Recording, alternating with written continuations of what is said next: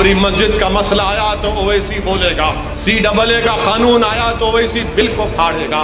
Triple तलाक का मसला आया तो ओवैसी बोलेगा। एनआरसी का मसला आया तो ओवैसी बोलेगा। बिल्किस का मसला आया तो ओवैसी बोलेगा। खेडिया में बच्चों को रोड पर लाकर सरे आम उनकी बेजती करके पीटा जाता है तो ओवैसी बोलेगा। बीजेपी और मोदी के खिलाफ अगर कोई खुलकर बोलेगा तो ओवैसी बोलेगा। यूएपीए का कानून बीजेपी अमित शाह ने लाया तो हमने उसकी मुखालिफत की ये सब साथ दे रहे थे। हम जब आपके लिए लड़ते हैं तो हमारी गाड़ी पर गोलियाँ चलाई जाती हैं। हम आपके लिए लड़ते हैं तो कोई दिन ऐसा नहीं जाता जब मुझ पर झूठे इल्ज़ाम नहीं लगा दिए जाते।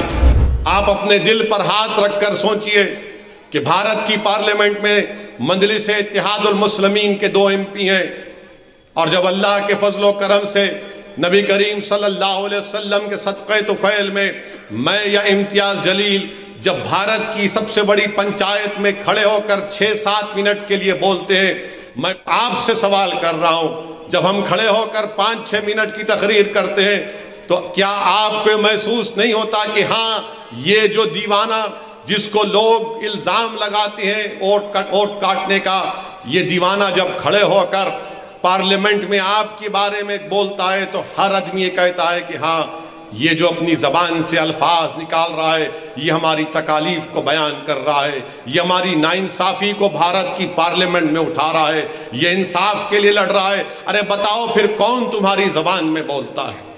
कौन आपकी तकालीफ को उठाता है भारत की पार्लियामेंट में? बाबरी मस्जिद का मसला आया तो ओवैसी बोलेगा सी डबल ए का कानून आया तो ओवैसी बिल को फाड़ेगा, ट्रिपल तलाक का मसला आया तो ओवैसी बोलेगा।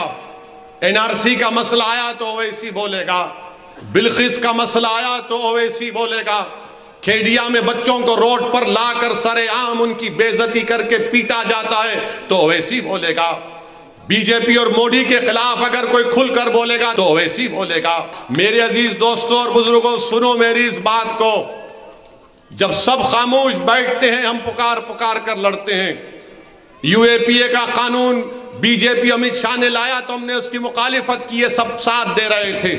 तो मेरी जमालपुर की आवाम से गुजरात की जनता से अपील है कि जो खामोश रहते हैं, उनका साथ मत दीजिए। जो आपके लिए लड़ते हैं, पुकारते हैं उनका साथ दीजिए। क्योंकि ये कांग्रेस पार्टी और वो छोटा रिचार्ज, ये समझते हैं कि हम खामोश रहेंगे, तब भी आप उनको वोट देंगे। क्योंकि वो जानते हैं कि भाजपा के डर से आप उनको वोट देंगे। याद रखिए, अगर आप आपके लड़ने वालों का साथ नहीं देंगे और जो खामोश रहेंगे, उनका साथ देंगे तो कहीं खुदा ना खास्ता वो हमेशा के लिए आपको खामोश ना कर दे। वोट डालना आपका अख्तियार है। मगर मैं आपसे अपील कर रहा हूँ कि हम आपके लिए लड़ते हैं मेरे इज्जतदार माँ और बहनों।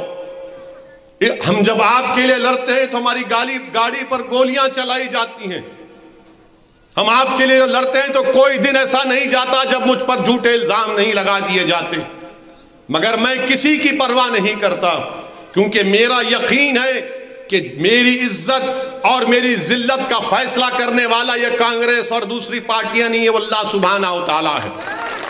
मगर मेरे अज़ीज़ दोस्तों और बुज़ुर्गों, याद रखो मेरी इस बात को।